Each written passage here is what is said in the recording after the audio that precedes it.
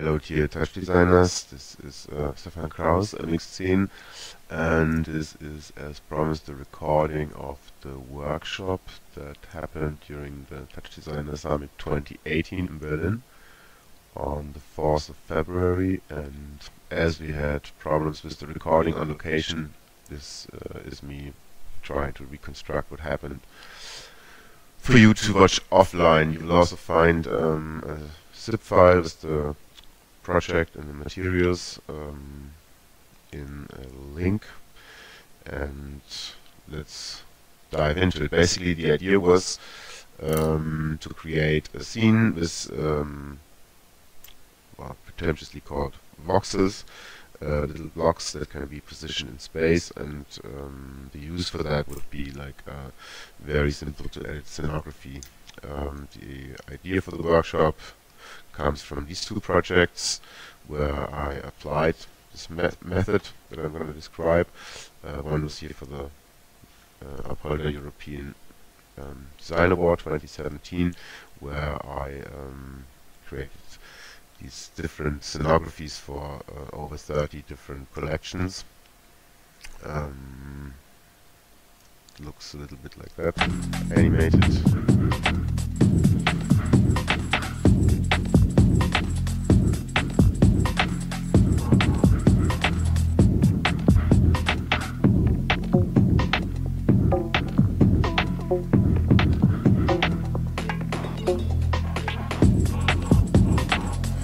Basically the task was to have uh, many very different scenarios fitting to the collections and this method allowed me to have a consistent aesthetic but uh, still um, very much react to the style of um, the collections. The other project that um, inspired this workshop was uh, projection mapping that I produced last year and I tried to uh, make almost everything in Touch Designer um, the resolution was 4096 by 700 pixels.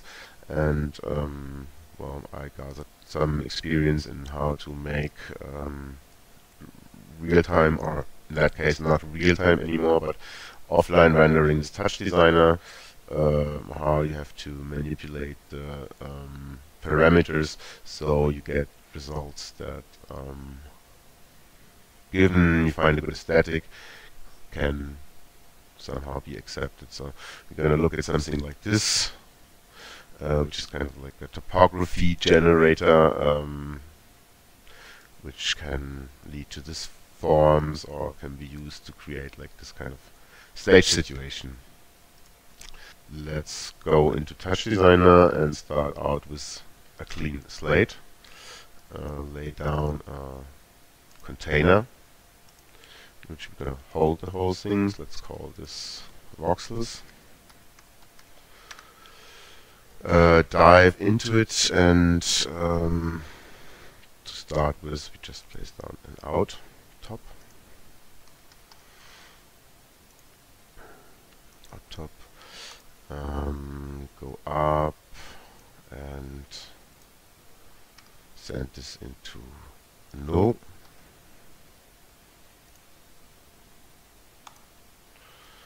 And next thing we should do is we're gonna split the workspace, make this a bit smaller, make this like a top viewer, uh, and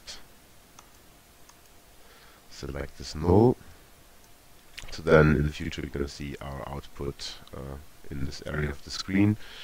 Um, we also need to disable that this shows up in this background because I find it irritating. So we go right click display, um, check off backdrop tops. And also, so um, we always keep the final output here. We um, no link, so when we jump in here, it still shows the output. Um, so now we want to create something that we can actually see. We're going to start out with um, traditional render setup consisting of um, and you can hold down control to select several things at a time uh, a camera geometry a light and a render and that's it for now. Um, I like to arrange it like this, connect this to the output and um, here we got our preview. Let's continue immediately and start to create our cube with which we're going to work in the future. So delete the torus and lay down a box SOP. Let's add a texture SOP and turn on the render and the display flag. So here we got the cube, it got a dimension of 1 by 1 by 1, um, which is what we're going to work. Next thing uh, we wanted to do is uh, we wanted to create a grid SOP.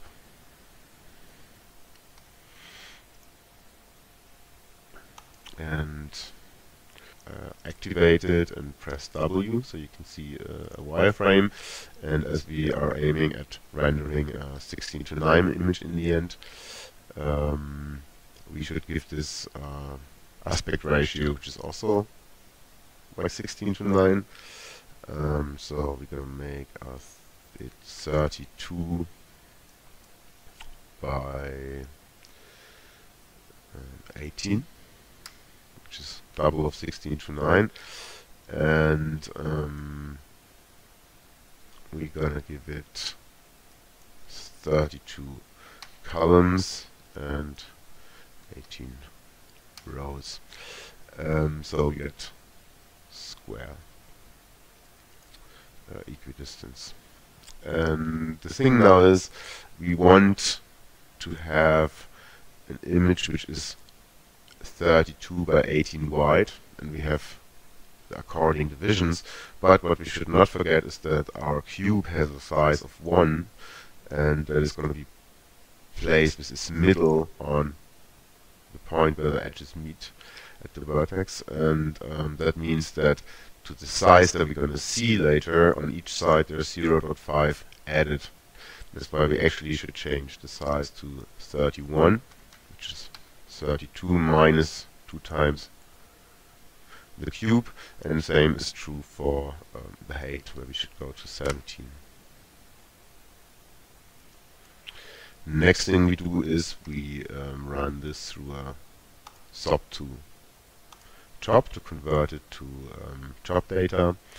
Um, this should give us 265 samples uh, 567 samples, um, which is this number by this number, and which is the, the amount of cubes that we're gonna have when we start instancing this stuff.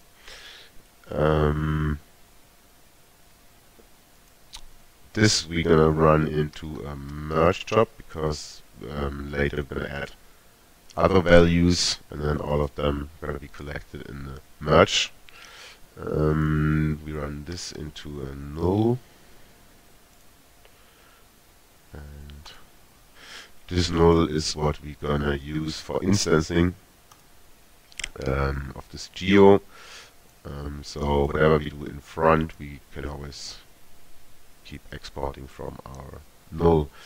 Um, select the geo and go to the instance page. Turn instancing on and just drag the null into this feed uh, field. And now you can select here for these channels um, the values coming in from our grid.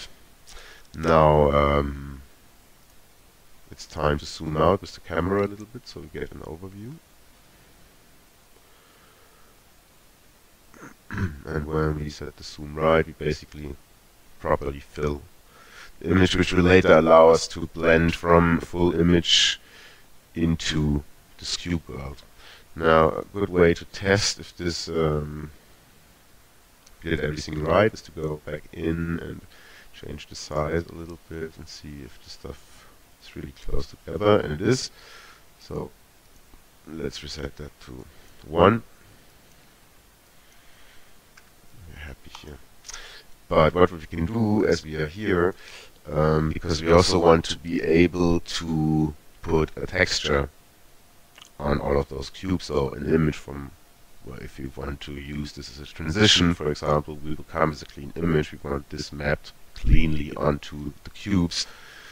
And for that we have to manipulate the texture, because right now if we put um, a texture onto this, um, it would be, maybe it's best we look at it, so we create uh, a Phong material, um, which we give to the geo material.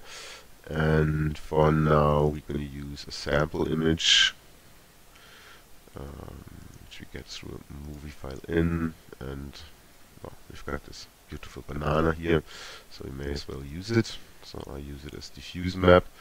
And you see what happens is that because each of the cubes has a U and a V texture uh, value of 1 uh, each of them gets the banana once full.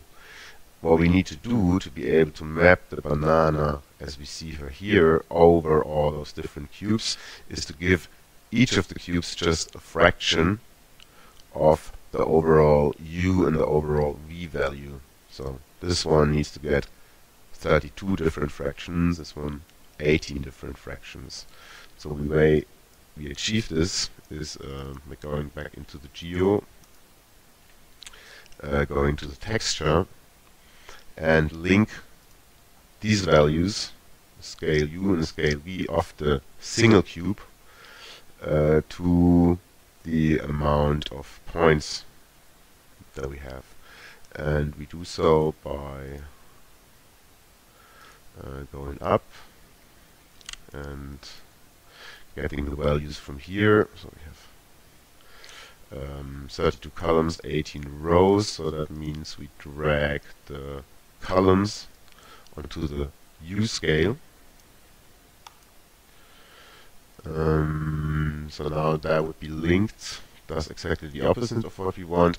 Uh, we want 1 divided by that number, because U, the value goes from 0 to 1, so 1 needs to be divided by the amount of cubes in that direction.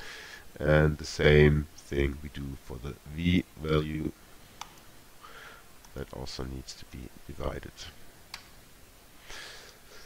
So now we have set this up properly, but uh, unfortunately we still don't see what we want to see and the reason for that is that we now need to feed the instances again which part of the image they're going to show. So here we tell the texture that it is the 32nd part or the um, 18th part of the whole image and with um, channels we have to tell the instances which of these cubes they are. Um, so the way we do that is that we go back up and basically, we already got the UV coordinates because they're very similar to the Tx and the Ty value. So we split this off with a select. Um, and first we get our u values. For that we are only interested in Tx. Um, as we are here we rename it to u. And when we look, we see that um, this goes from um, I think minus 15.5 to plus 15.5. Um, the numbers should be like that because the thing is, no, I'm sorry, 17 pixels high, uh, uh, 31 pixels wide, when we divide that by 2 is 15.5, the thing starts at 0, so it goes minus 15.5 in that direction, plus 15.5 in that direction. And that is interesting for us because we run this now through a math where we take go to the range page and chain uh, say the incoming range is from minus 15.5 to 15.5 and 2 range stays 0 to 1 so basically this is normalized. That's how we need it. It's already called u. Um, so we can merge this in the merge. Make this look a little bit nicer. Um, merge. So now we got a u coordinate, and now we have to repeat a similar process to come to the v coordinate. Um, as it's similar, we can simply copy this one and change it here from tx to ty.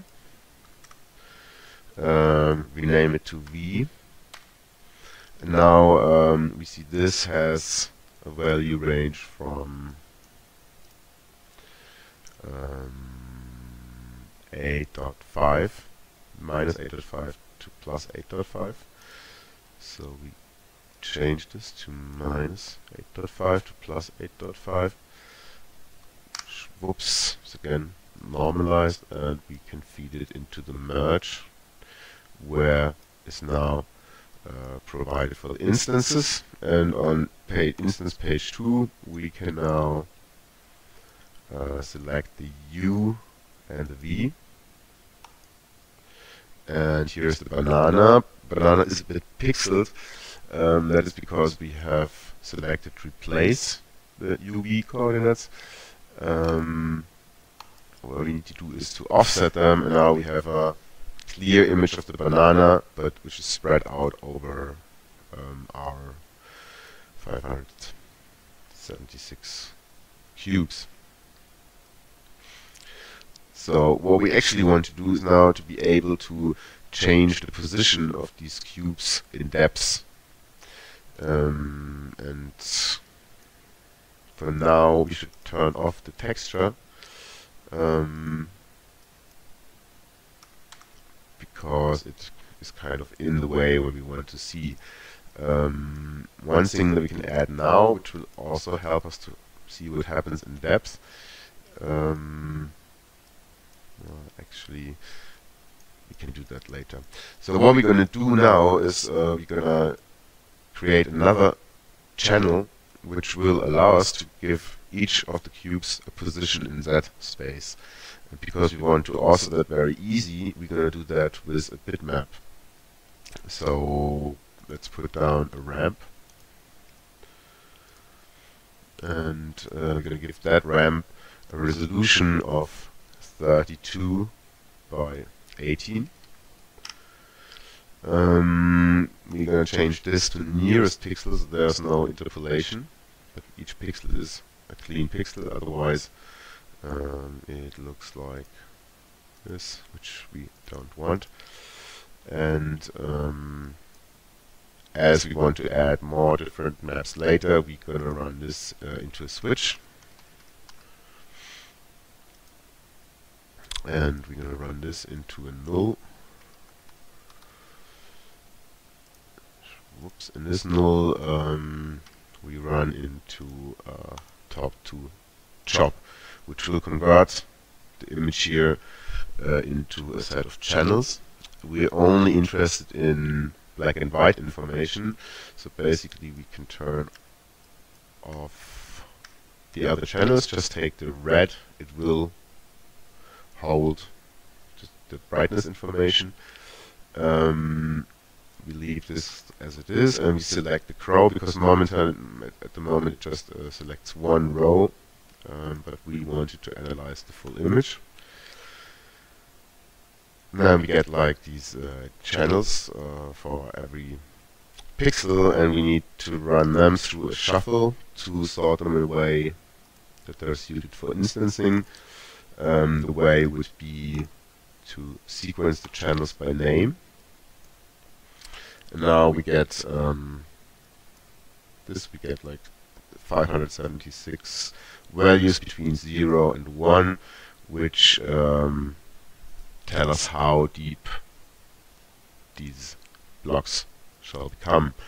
Um, as we come from another value range, we want to add a Math CHOP so we can later uh, manipulate how deep uh, a black and how deep a white point is.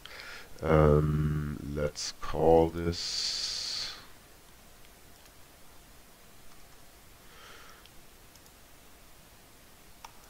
depth. And also add it to the merge. so we can use it for instancing. Now uh, let's go back to page 1 and replace the TZ value with um, depth. We see something tiny has happened, but um, because here the range is just between uh, 0 and 1, and we have here like a 3D space that is really not much distance covered here, so we use the math node the range to find a range um, with which we want to work. Obviously, we want to keep um, the cubes on one side on the front. Let's think of it as the screen. So we want to keep be able to keep them at the screen, and the other cubes we want to move back in space. So not in front of the screen, but behind the screen. So let's see what happens. So, so basically now we uh, define the one end of the spectrum, let's say go down until minus 50, and these cubes they stay on screen level.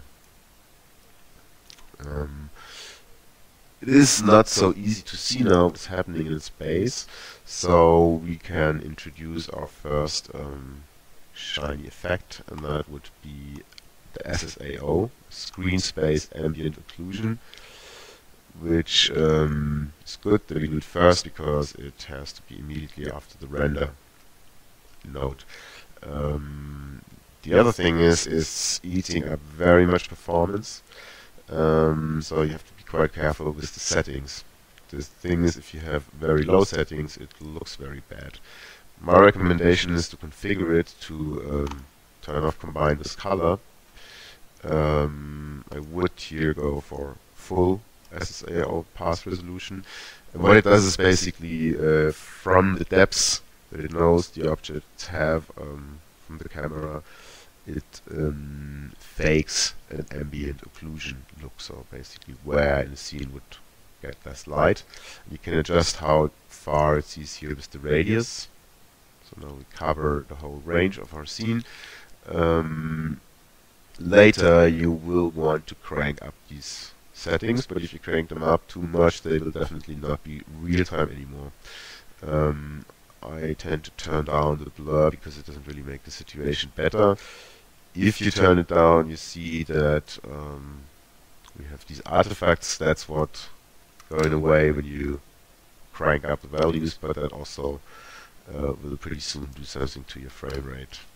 So maybe depending on your GPU, don't follow me immediately but you can do quite a bit so that it doesn't look horrible and it will definitely help uh, the image to look um, say a lot more spatial and rendered than without. So I like to turn it on already during authoring. Um, so it just seems a bit more understandable what is in front and what is in back. Next thing which will help us to get like an idea of the space is uh, to adjust the light. And I find that lights with shadows are best controllable when they're cone lights. So we're gonna make this a cone light. We turn the shadows on to see what we're doing and we see that we need to widen range, make the light a bit softer, um, and to get more depth we have to move the light a bit on the axis so that okay, and can move it away a little bit. The further we move it away, the um, more pixelated the shadows become. That's because it's working with shadow maps, and that's why it's good to use the cone light because you can limit a bit the um, yeah, the range. Uh, later when you render you can still go and uh, crank up the settings of the the resolution of the of the shadow. So basically I um, tend to go to 4K it just makes uh, the anti-aliasing situation better. So now we can have a look at what actually happens. So we have uh, this ramp here. We see that the cubes are um, transformed back into space and depending on the kind of information we give in um, we can move them smoothly through space uh, with this information coming from this image which allows us to um, create have a very easy way to author this kind of more complex animation. The thing is, uh, as we use this as position data, so we take a very small value range and pump it up, it's um, a good idea to make this 32-bit because it will allow you to get much smoother positioning when you animate the whole thing later. So now what we want uh, is a nicer way to author the depths of these cubes. Um, what I would like to do is to be able to paint them basically and to do this in real time we can use the uh, Photoshop in node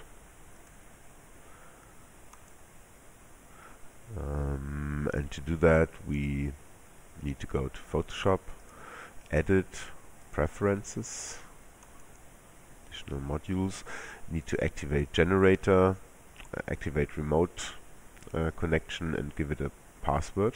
I used uh, TD Summit 18 um, the connection should then be established when we have a new document. We're gonna make it 32 pixels wide and 18 pixels high. Uh, it's gonna be 8-bit RGB and do it. There we go. And we're gonna save this as um, depth map live PSD I already got one. Um, now we need to establish the connection here. We're gonna type in the password.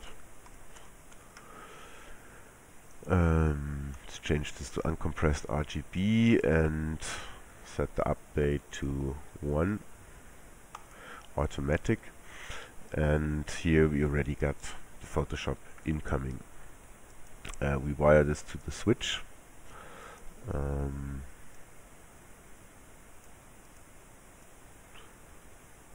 blend over. And um, switch back to Photoshop. Windows left. Uh, splits up the screens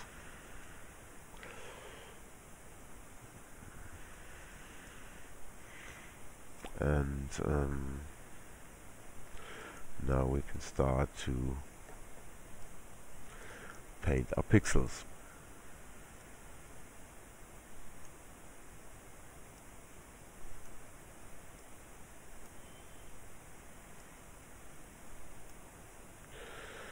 Um, and what is also always very nice is like the gradient tool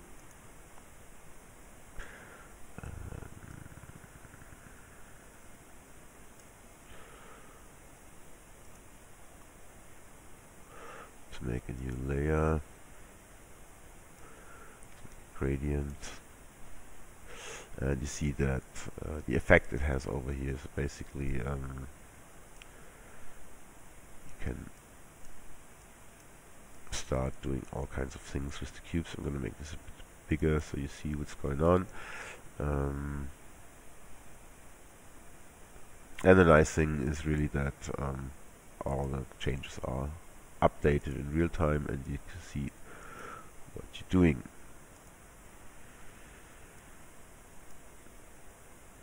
Uh, unfortunately the light setup is not to the best here so let's just save this uh, obviously you can then uh, save different um, versions of this just as regular pictures and then later use them to uh, seamlessly blend between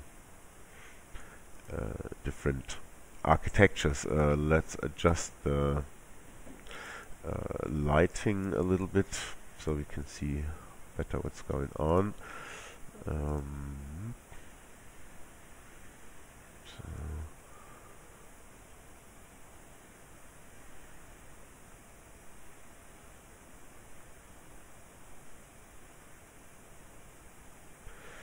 So now um, the thing is that uh, as the cubes just have a depth of 1, the whole thing looks still more like holes. So we see a lot of background. And to change that, um, I'm going to change the geometry of the cube to um, something more like a stick which has depth. So I'm going to make it very long, like 40 and move the center back uh, minus 20 so that we, we again at screen level. Um, so now um, the cubes are building kind of walls on the sides um, and we can also adjust the SSAO to the new conditions uh, by playing around with the settings a little bit. Okay.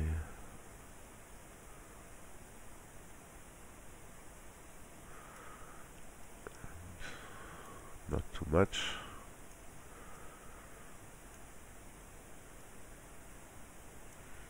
Okay. So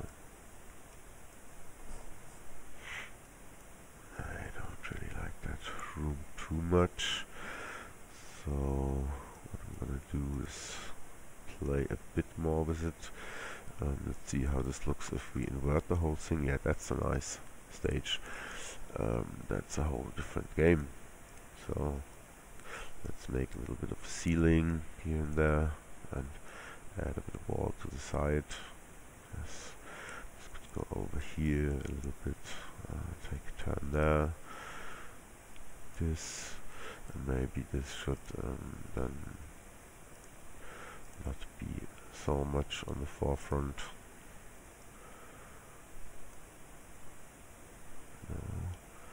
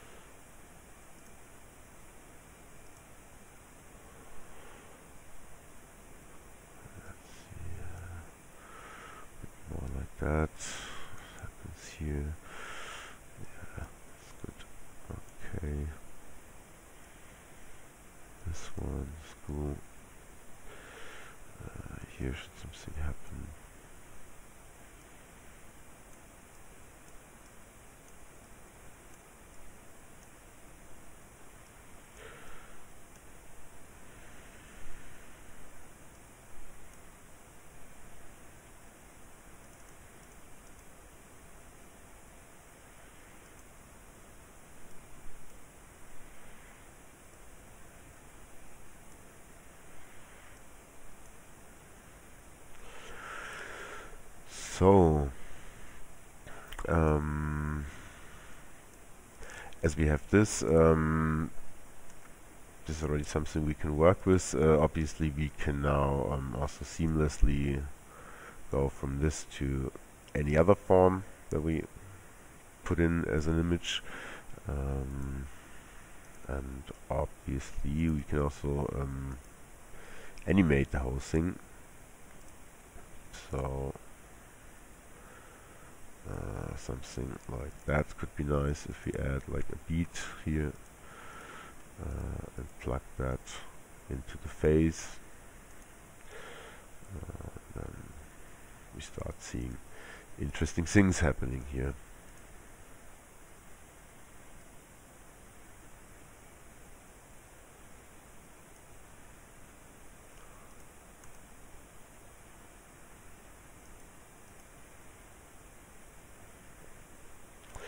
Good, but um, actually that's not our main focus. Let's keep this um. That's not our main focus. So, but that's not really our main focus. So let's switch this uh, back to the uh, scenography, pseudo scenography that we um, just created. And um, next thing I would like to do is to be able to do the same thing with colors.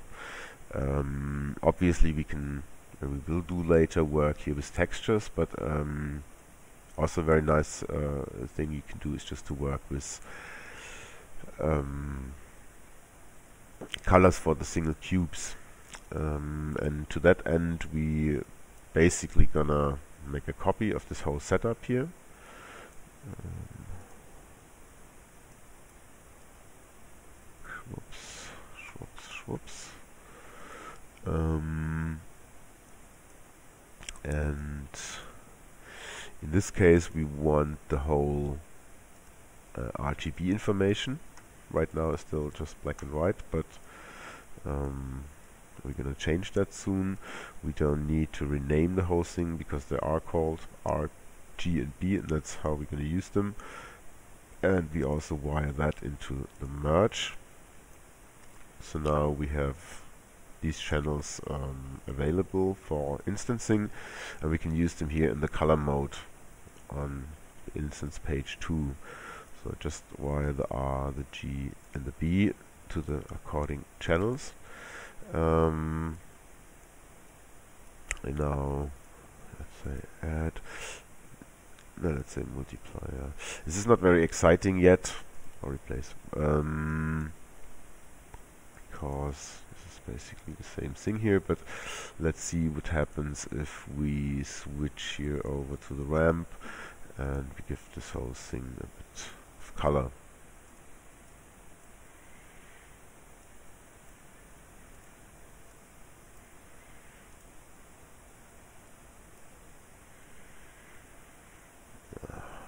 Let's give the whole thing a bit of color. So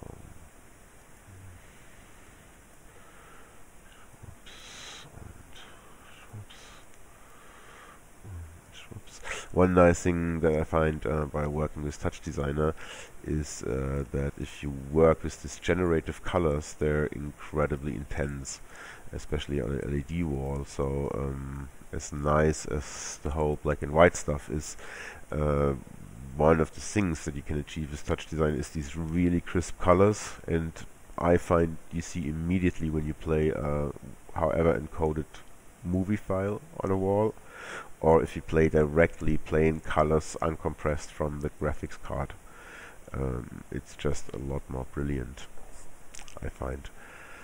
So now we've got this color input but it doesn't look like we want it to be uh, probably because we have this mask thing here which we copied um, accidentally from the other chain.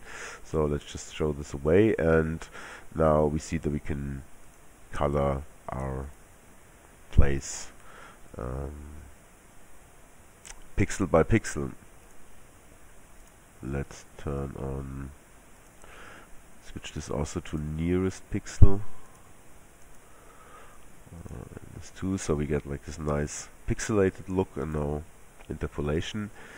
Um, and obviously now we can do the same thing with Photoshop to create a color map. So let's jump over and set this up. Um, we can reuse the depth map basically, which makes sense because we here already have the places of the things in space. Um, so we save this as color map live. Uh, I'm gonna go and flatten this whole thing and start to play around a bit with the color. Um,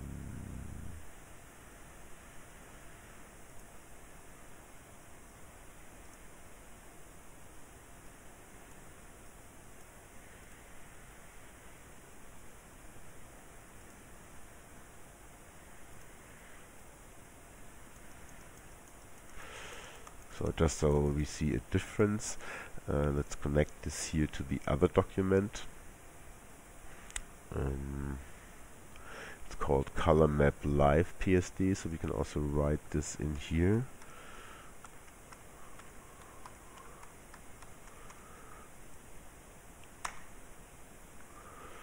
Write it right. Uh,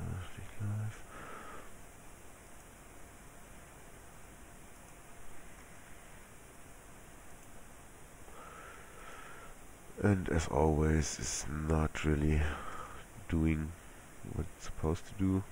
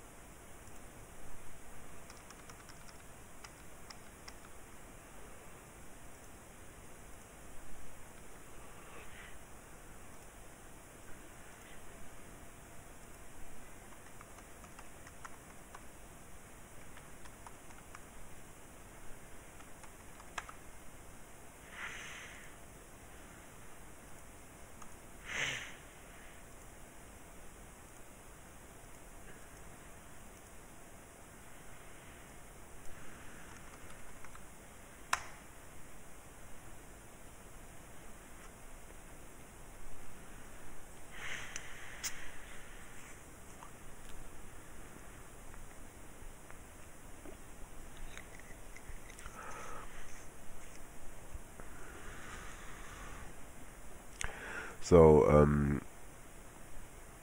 you can write the name of the document that you want to drag from Photoshop in here and then you can lock the documents. Na, das hat ja gut geklappt.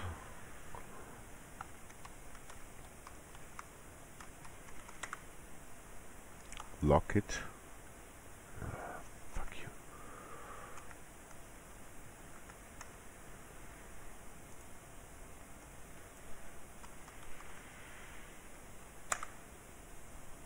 So we've got the connection from the color map.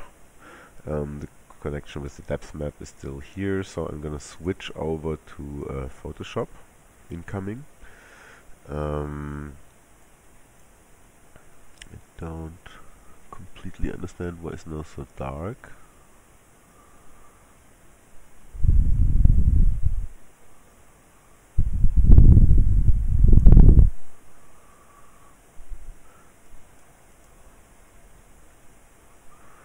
Maybe I should uh, invert this. Okay. So this is a better approach. Um, let's add some color here. I mean, I'm obviously doing this very stupid now, just so something happens, but I think you see that you can create scenes uh, in quite spontaneously and um, not too much detail, but there's stuff possible.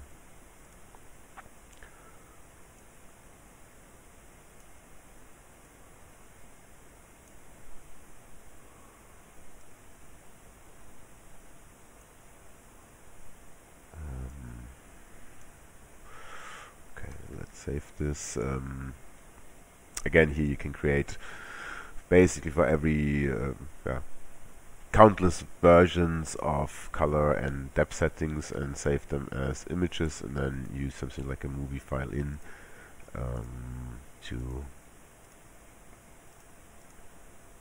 make it look so here I change everywhere the interpolation to nearest pixel. I'm not sure, that doesn't really change something in the output, but I um, just like to see what's going on really.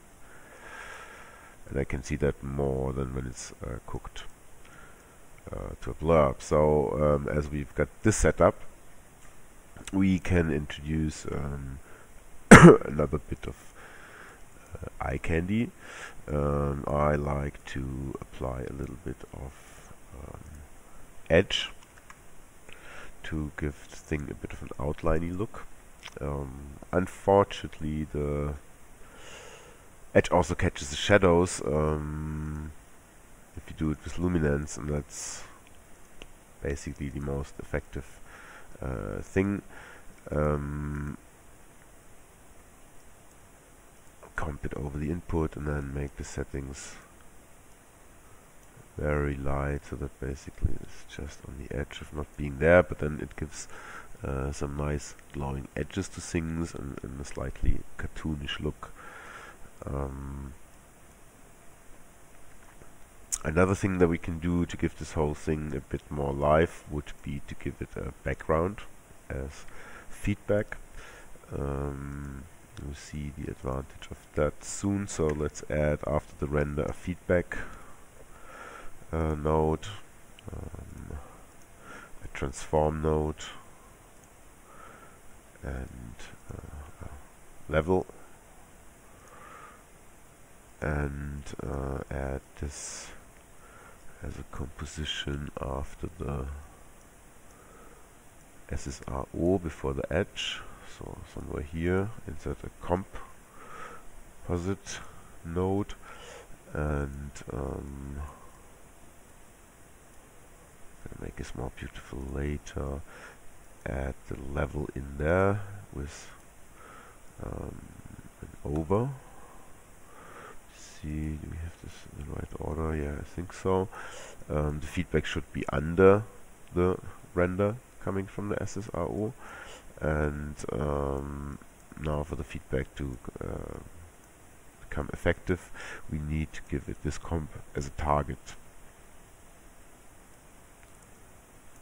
it and also here in the transform node we're going to turn tile on repeat. Uh, and we're gonna scale uh, the whole thing up a tiny bit. Also again really small amounts. We get this very slow expansion of the feedback um, yeah so um, this will also have a nice effect when the whole thing moves mm. let's give it a bit of animation so you see stuff that's coming in there is um, then slowly traveling towards us and extends the perspective that is already there.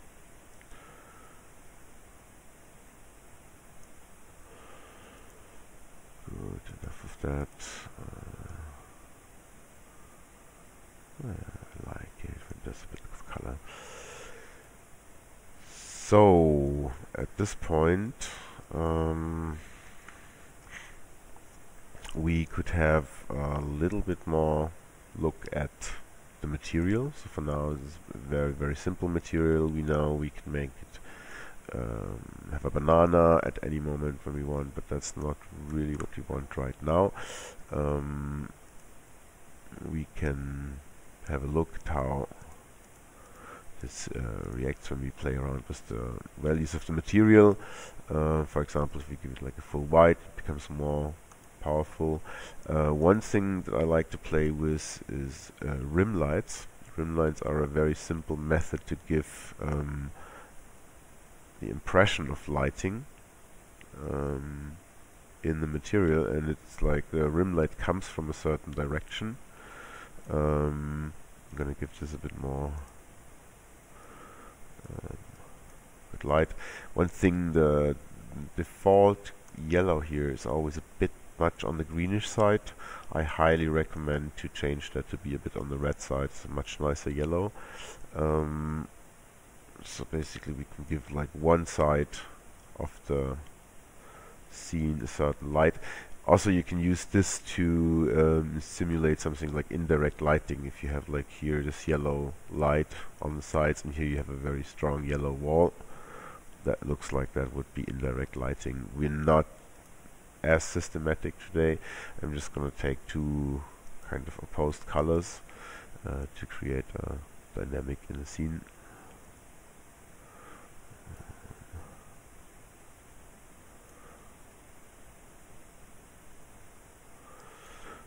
So I really like the rim lights.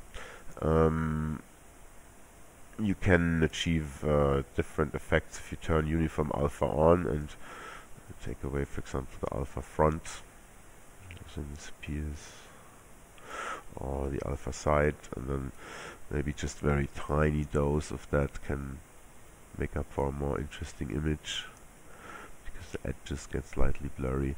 But for now, let's keep this. Um, but it's always good if you go through the parameter pages, just check out what happens at different things and if it looks better than before then that's something where you should maybe look into it. Um,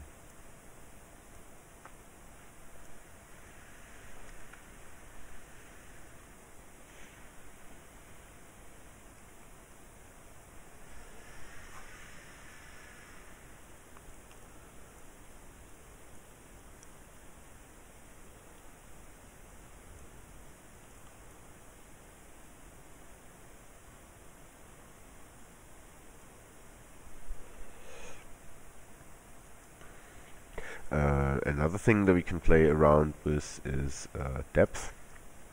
Um, so you can create a depth node and if you feed that with the name of a render top it will create a depth um, a Z view basically of the scene um, you need to change it to can change it to 8-bit fixed RGBA and the depth space, uh, we go to rearrange from camera space.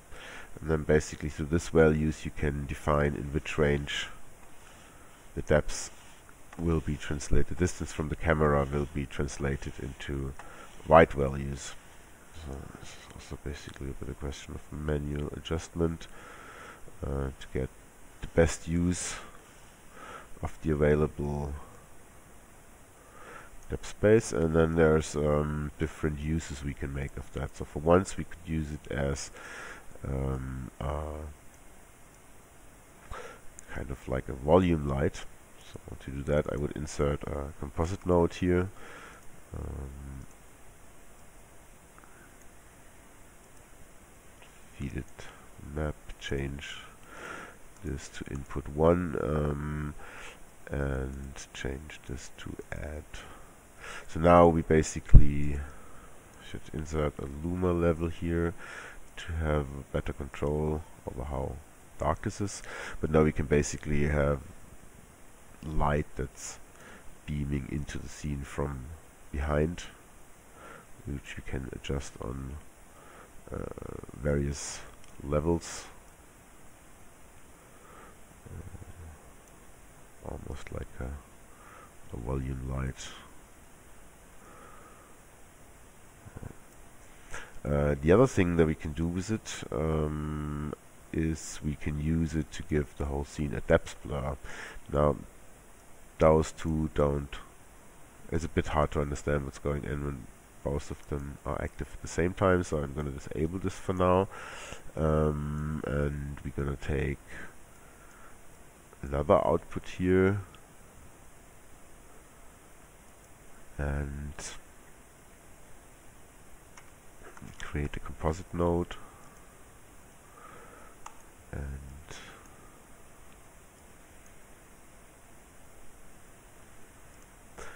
uh, we drag an output from here and uh, select a luma blur operator. And the luma blur uh, takes an input and the other input, the second input, um, is a black and white image which tells the um, blur where to be blurry and where to be sharp. Um, so if working with this kind of blur I recommend to make it really high, especially during authoring so you can actually see what's going on. Uh, this is not too good at the moment.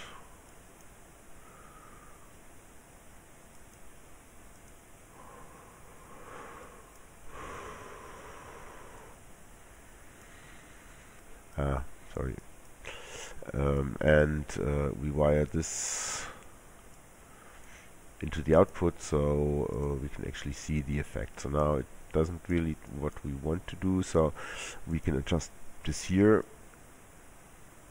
Um, we could do a lot of things here. Um, say how at which depths the, the blur starts to work. Um, what I dislike a bit is that through the sharp edges that we have here in the depth map, uh, if you apply the blur, it somehow doesn't look super natural. Um, and that's why I like to add in the whole mix um, a little ramp to uh, give me more control over where I want to have blur and where not. Uh, let's make a ramp. Let's give it also like a 16 to 9 ratio. And um, let's say to be like this. Uh, and add this to the thing. So now we can start to play around with this and see uh, where in space we want to have blur when not. Um,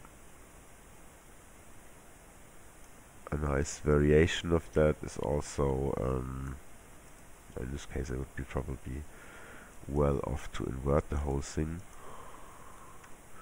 Let's do this. Uh,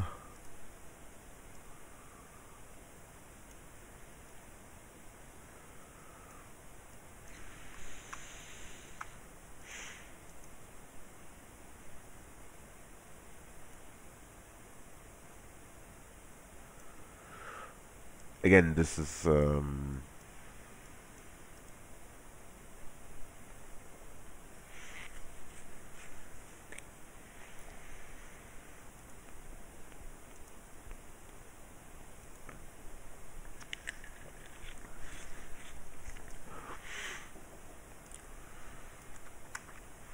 So now I can use this to um, get additional control over the blur uh, in the scene. So for example I can blur it towards the edges. Um,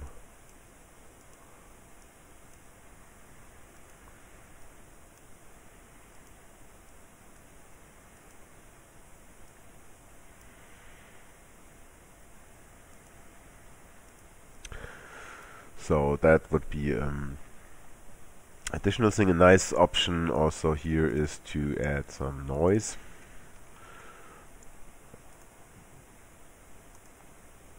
which we could use to um,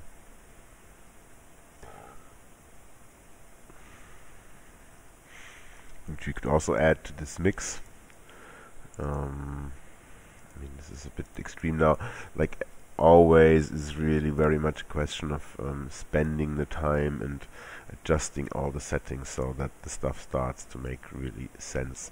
I mean, I can't really spend this time now, but um, it's at the essence of doing this stuff. Let's add a level so we can also change this a little bit. Um, and if you um, now give this set value for example, a little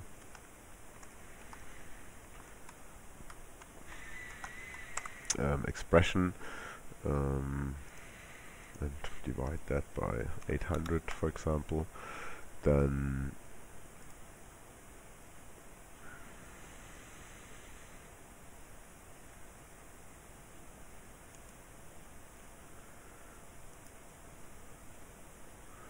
get like a bit the effect that the uh, blur is wandering around which also especially if it's a bit subtle gives the whole thing um, um, a nice more um, lively atmosphere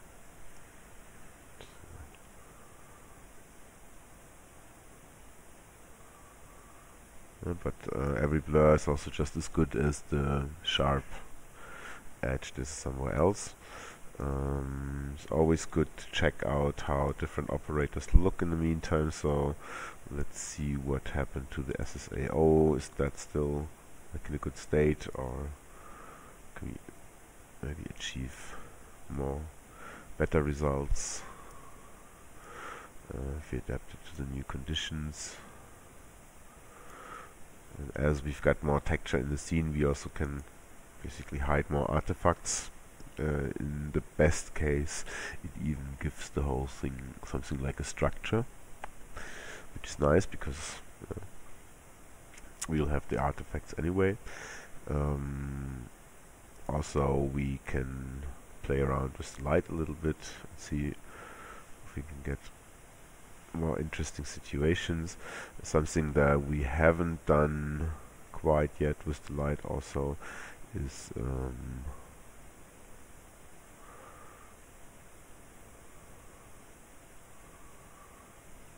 so you can get much more dramatic if you want.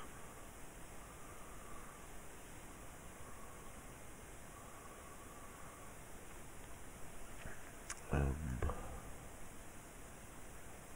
you also can do with the light uh, we haven't used yet is we can use distance attenuation uh, which will again allow us to put the brightness of the light uh, limited to a certain depth which we can also again use to tell a little bit something about the depths in our scene. And uh, another thing that um, is always interesting to consider is if you change the projection so what I like to do is to go to perspective to auto blend which then allows me to blend um, between a perspective view and an orthographic view. The orthographic view basically needs here the width of the render. No. It's definitely a quite big number. Uh, do we have here? 30.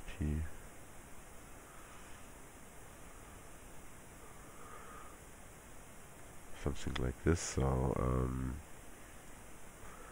now we can basically go from a flat view to like the steps view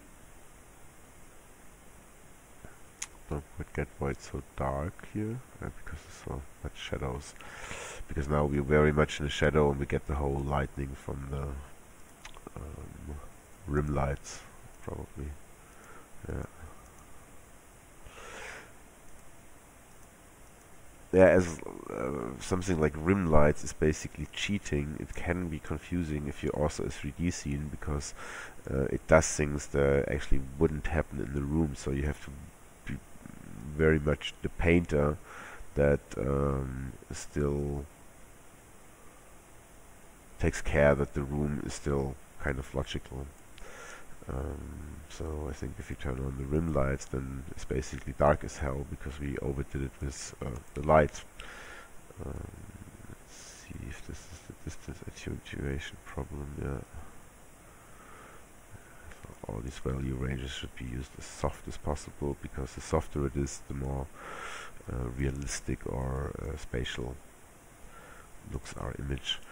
Um, another thing is especially as we are so colorful now that we can do is we can use color correction and we should do that so um, let's add for example uh, luma level and that allows us to increase contrast um, to adjust gamma brightness but you have to be very careful uh, it's not so easy to get like a super good control over uh, the colors in TouchDesigner. There's also the um, HSV to uh, adjust node, which allows you to influence the colors, but also that is quite rude. Uh, find it easy to get easily good results out of it.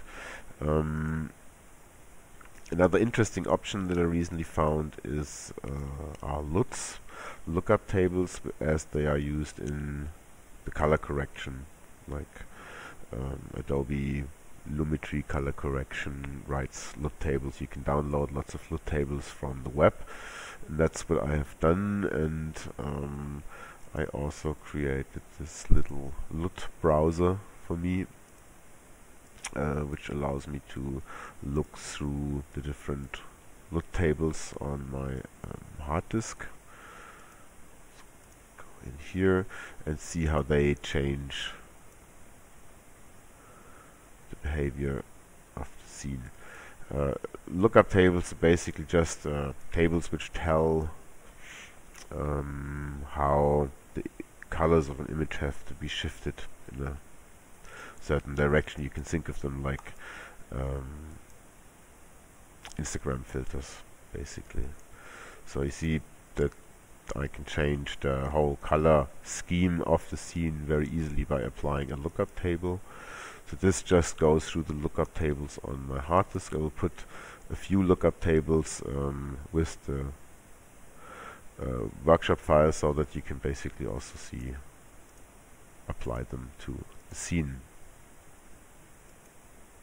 So actually I wouldn't go too far from the initial thing.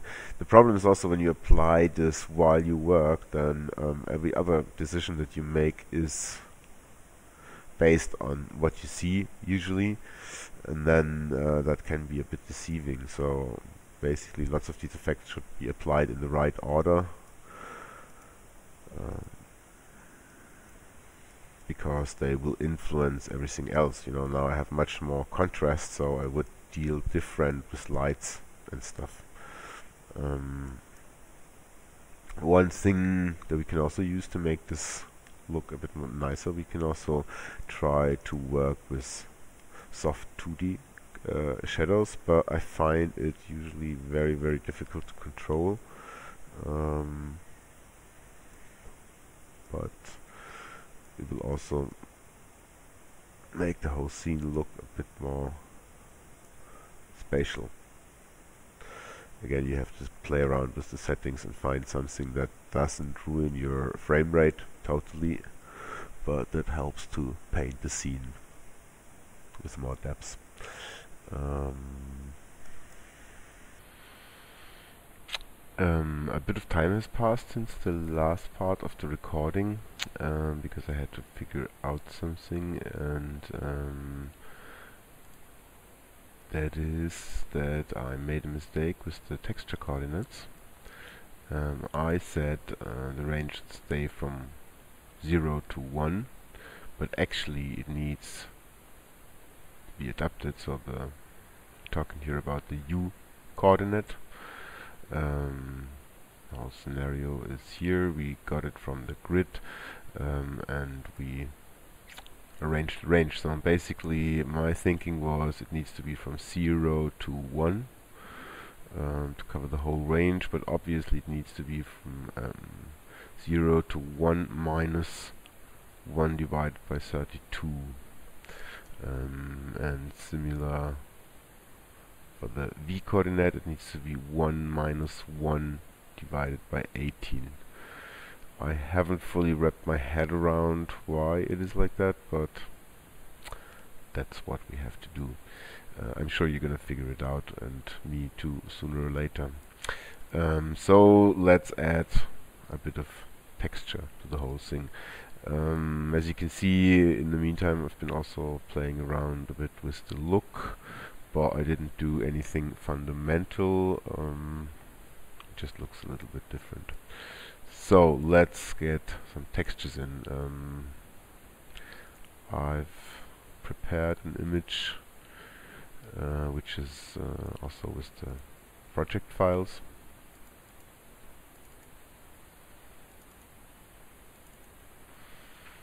Um, and this is grid 32 by 18 um, let's give this as a specular map um, uh, let's put it as a diffuse map. Should be actually able to see it. And you see it gives um, we have now like a bit of a black outline for each of the cubes. Um, another thing that we can do with, um, yeah, you can also, for example, take this and run it through a level and map that and see how that will influence the whole scenery so you could go for a more um, virtual reality kind of style and also with this you get like quite some possibilities for fine-tuning the image. Um, you might also want to use this on another slot. Let's give the specular ch chance again. Maybe we have to turn it on here. Um, let's see.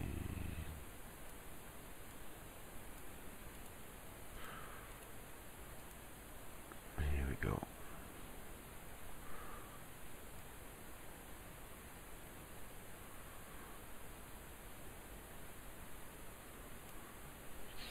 and a tiny bit more structure. Um, because now we can do something else with the diffuse map. Um, I'll import two other textures which you will also find with the project files. Um, this one and this one. Just some uh, random pictures. And what we can do now is we can use the depth map uh, as a mat to assign these two different textures to different parts of the space. Uh, so we run the two of them in the mat mode.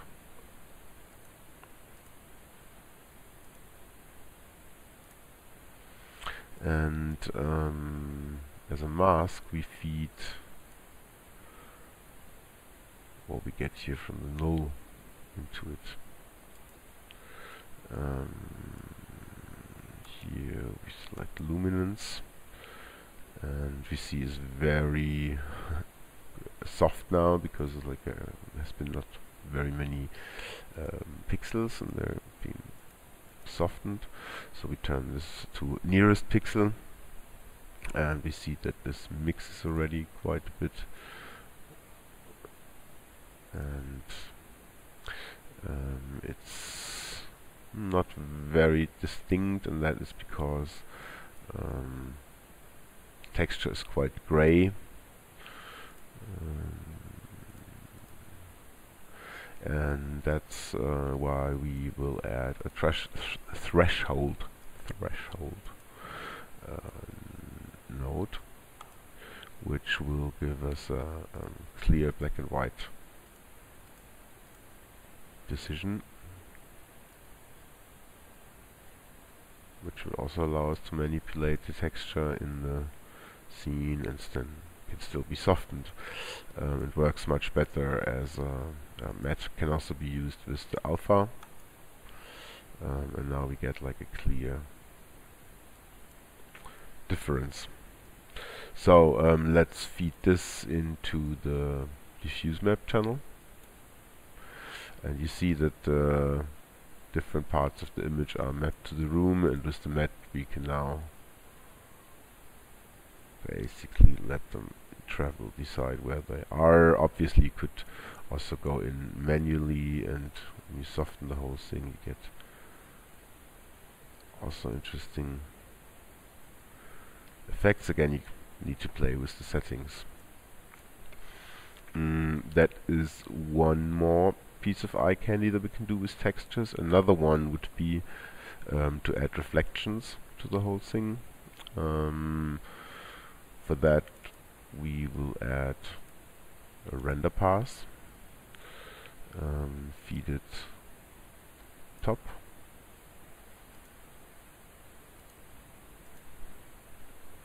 for that we will add another render um, and another camera.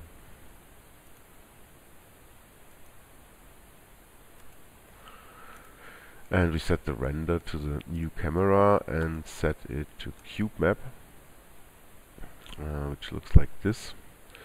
Uh, and that means that the camera looks into the room, takes a 360 degree image, and that is being mapped on to the cubes.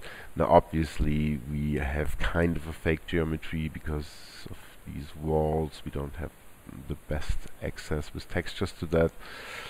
But uh, nevertheless it gives um, additional layer of complexity and when later when we move the camera and we move around the reflections will also move around not necessarily correct but they will give the impression of a reflection so let's stop talking about this and apply this to the environment map slot of our material and you can already see stuff starts reflecting. Um, now you can adjust this the, the, strength of the reflection with um, this shade of gray basically. So maybe not too much but also not too little as always. Mm, mm. okay uh, and now you can start playing with the position of the camera, move it deeper in the scene, try to get more of the reflections that you want. Can be interesting to rotate the whole thing a little bit. Um, again, we don't achieve total realism, we can possibly achieve something that just looks good. And now when I move the whole thing around a bit, um, you see that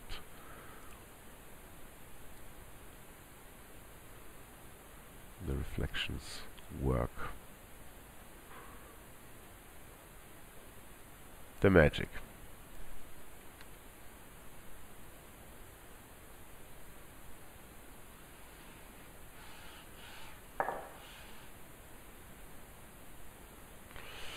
Okay, so that looks uh, kind of nice. Um, the last thing that we, I think, wanted to look into is um, how can we record the stuff so can we can really crank up the settings and don't think about the frame rate anymore but just render this out in the best quality possible. Um, and there's a few steps that we have to have to take um, but nothing too complicated. So first thing we do is um, towards the end we add a movie file out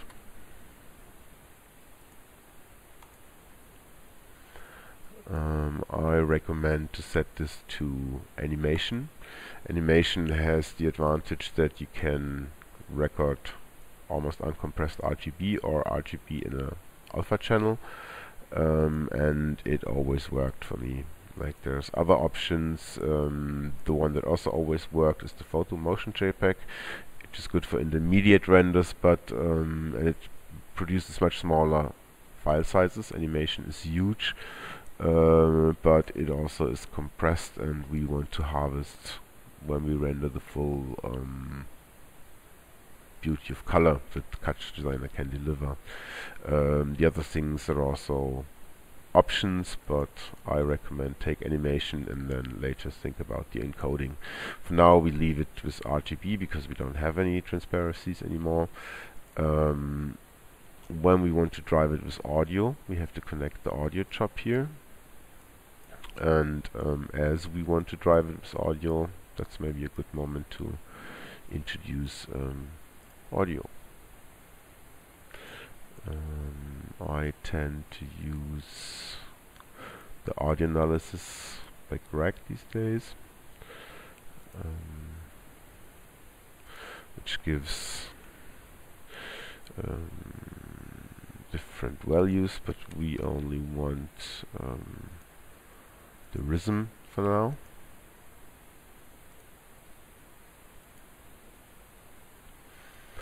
Um, one thing that I also like to do is um, to have things not happening on every beat that is very hectic. So I have this method. I uh, introduce a count.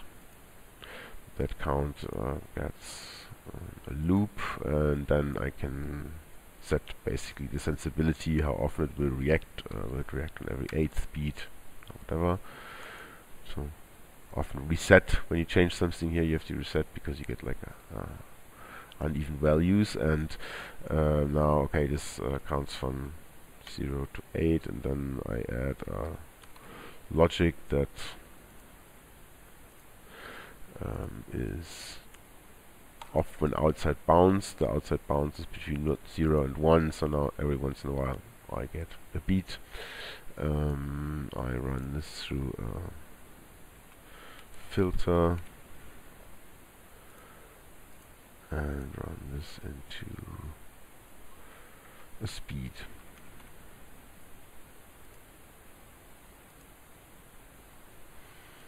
Let's see what that does.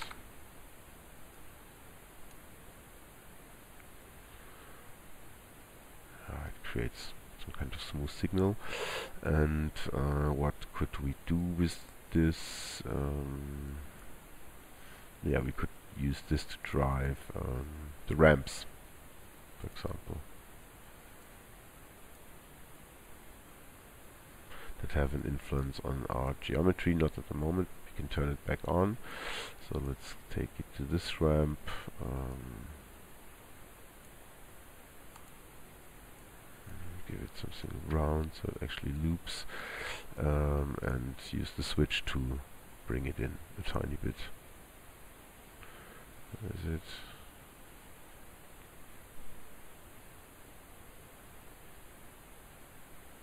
It's not too much happening.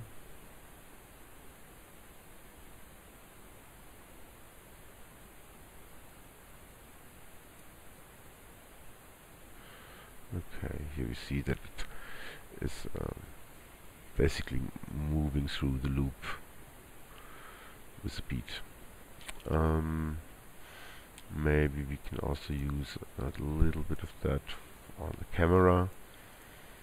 Um, let's see, here's the filter 33. 33 plus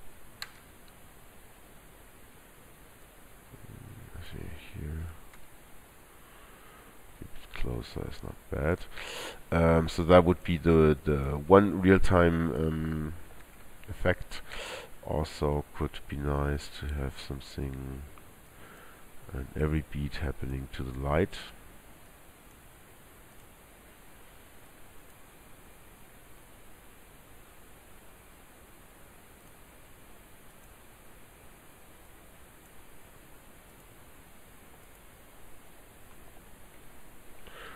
like this a tiny bit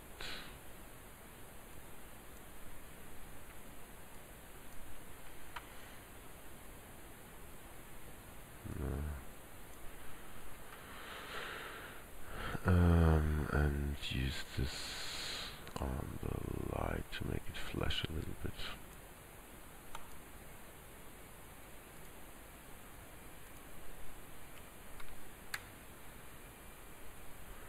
Maybe try something like that.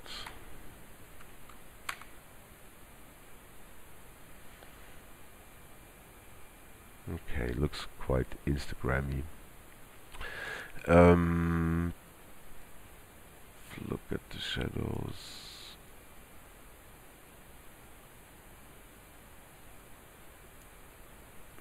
Yeah. See if we're still happy with the directions of the shadows. Okay, so this looks quite good. And the other thing that we might introduce is um, simple slider um, as kind of a replacement for what could be um, a MIDI controller or something like that. Um, the thing is, when you record um, an offline rendering with TouchDesigner, you need to turn real-time off. Um, and then it will render take as much time as it needs for every frame until certain limits but you can go uh, quite far. And um, but what that does is when you uh, control the scene in real time with MIDI or with a slider or something then that information gets chopped up so um, what you have to do is basically run the scene once in real time um, and do the control record the controls that you do and then play that recording offline in sync with the scene and the music so you get smooth controller values. Um, sounds strange but we're gonna see what so now we have to think of something that we can do with this slider and uh, maybe could think that this slider could be quite good to control the projection blend. It's a very mighty thing for one slider. So that would be then the effect the slider would have. Okay. Um, so basically we get this data out here. We're still real time um, we run this data into a record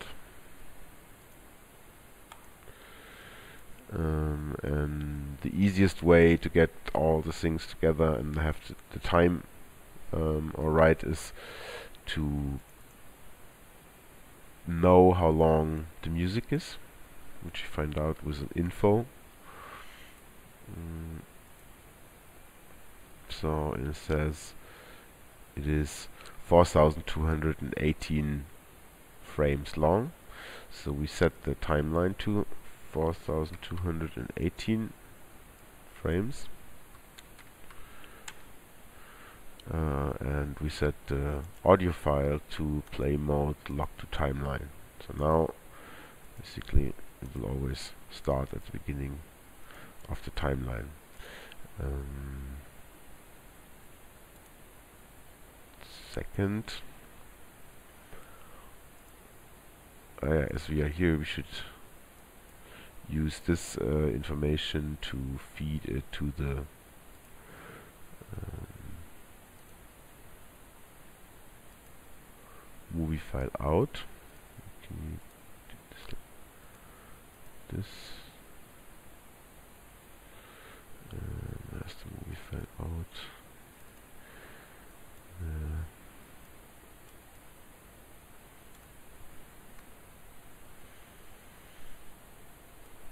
And connect. This is now the audio that will give us, uh, will be recorded and give us also uh, the time the movie uh, will be rendered at 30 FPS um, basically we almost set we would set the timeline to once and uh, we now still in real time we go once through the recording um, and simulate it basically uh, to record the action of the slider. This should be set to full range exactly. Record is on. We go back to frame 1. Uh, we are set to play once. We are real time and off we go.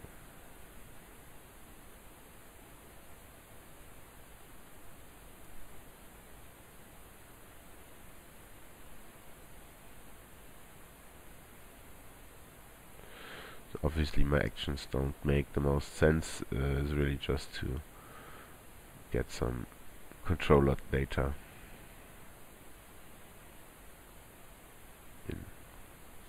Actually as we are here um, I really like this uh, isometric look especially with the shadows um, and some lights because it still gives somehow a feeling of space but on the other hand it's, it's really flat and um, I really like the look. The only thing you would have to get rid of if you want to use that is that black dot in the middle. That's basically the SSAO, which, yeah, doesn't work in the orthographic view. So if you would really want to do something like this, where you switch from perspective to orthographic, you would also have something that overrides the SSAO to avoid this uh, black. So, uh, basically we've gone through it once. So um, now we should save these channels uh, into the channel folder as record 1 um, to run this properly in sync with the time. Uh, we're gonna load this back in. No, it wasn't default one. Um, it was here where I recorded it to. Record one. Uh, and we're gonna run this through a lookup table. And the lookup table takes um, lookup table, which is a recording, and it takes an index. Uh, and this index um, should be the time um, and to achieve that we're gonna use a timer object. I'm sure there's lots of other maybe better ways to do it but um, this works for me. I lock it to timeline. I give it the length of the scene. 280 frames. And uh, we're gonna start it with the recording. And this generates uh, timer fraction. You can limit it here to only give us time timer fraction and time timer fraction is basically the time as a value between 0 and 1 exactly what the lookup needs. So now the lookup will give us um, the actions of timer. So we can try this by starting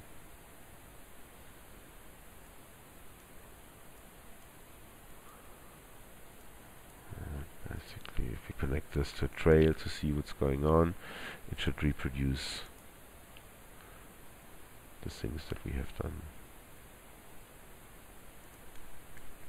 Okay so um, we can pause this set this to hmm, um, is locked to the timeline so basically it works with the timeline. Um, we can turn real time off. So uh, we have to hook this up now that we have it um,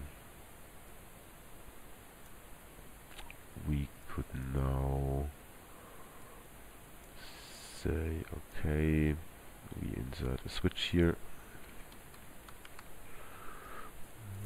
to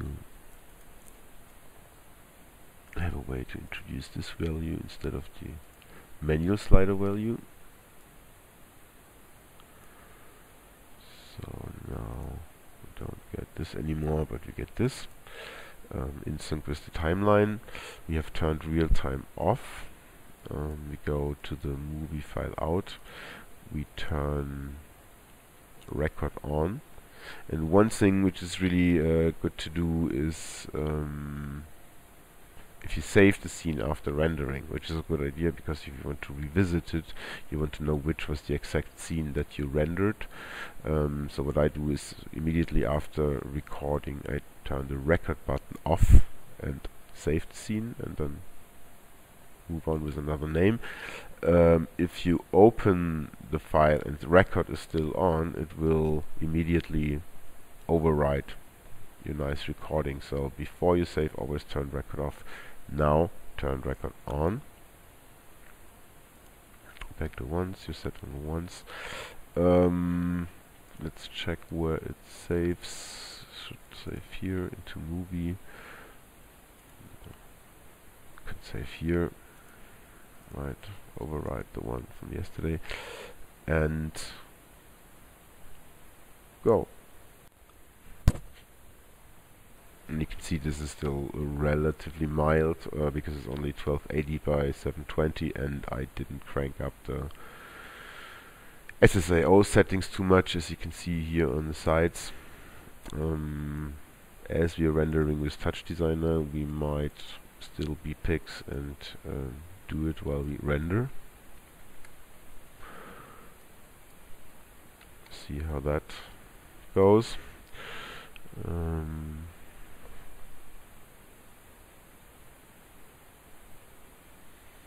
and you see that we are still rendering with 50 frames so that's not too bad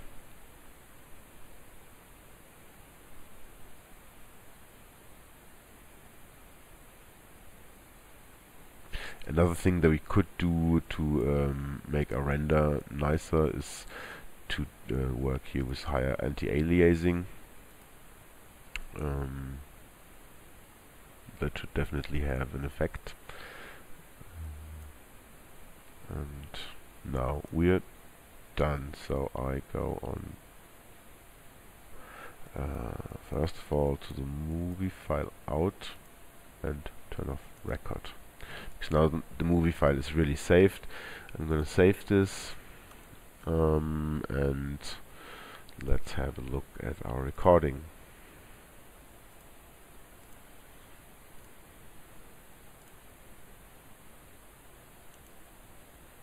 here it is. Uh, let's make the playback locked to timeline. Should have the same length. Let's see what an info says.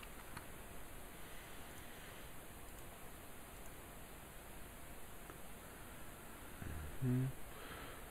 2109 yeah, okay. That's because uh, it was 4080 at 60 frames per second we recorded at 30 frames per second so it's only half the frames that makes sense. Um,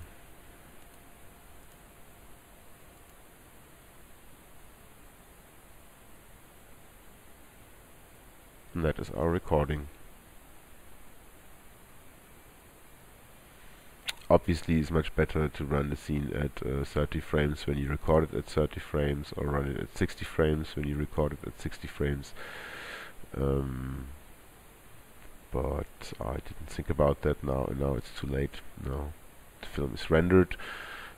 Um, I think the result is okay. Obviously the shadows could um, get some more treatment, um, the function that terms of the SSAO, and so on. There's always uh, room for cream, basically. Um, so that uh, was uh, the workshop. I hope I didn't leave out too much that we had in the workshop, but there was also a lot of hours. So I think together with the scene file there's um, a lot of things that you can actually play around. Um, I thank you for your attention um, and hope to see you soon at the next TouchDesigner Summit. Bye bye.